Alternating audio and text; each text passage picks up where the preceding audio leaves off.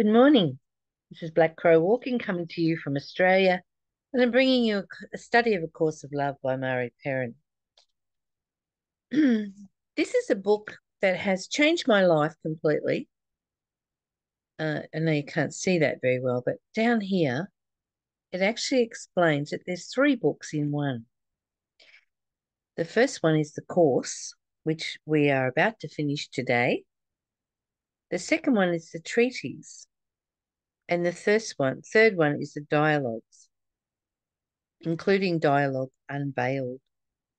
So we're about to enter the second book in this book.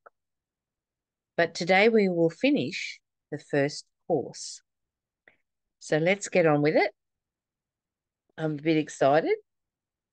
So I'm going to reread uh, chapter 32, verse 3. Thus, we end this course with love given and, and love received in truth. You are the learner here until you realize that you are love. You then become the teacher of what you are. Your mind and heart join in wholeheartedness in the embrace. You are home, and there you will stay forever.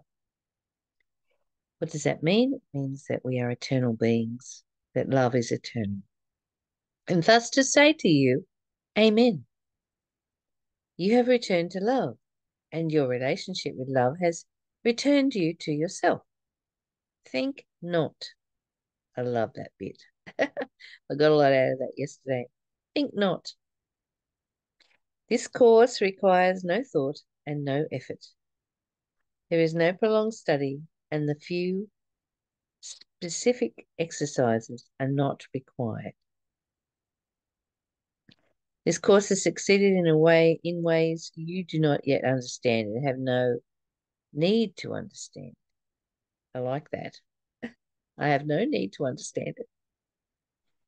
These words have entered your heart and sealed the rift between your mind and your, your heart. Be true to love, and you cannot fail to be true to yourself. If you do not think you are yet prepared, if you think you are not yet ready, cease to think. Absolutely. Read again these words of love and let the sound of love soothe your worries away. Give me the thoughts that remain to trouble you, and I will return them to you transformed by love. Do not grieve your thoughts or believe in, in loss of anything of any kind. Thus, you will all you you will all have already received the remembered be sorry, I'm gonna read that sentence again. Thus will all you have already received be remembered in this time of the second coming of Christ. What's the second coming of Christ? It's you remembering you are love. That's what it is. It's an analogy. An analogy. That's all. And what of miracles? The last and final miracle has occurred. For what miracles are needed when mind and heart are one, and you have returned to the embrace?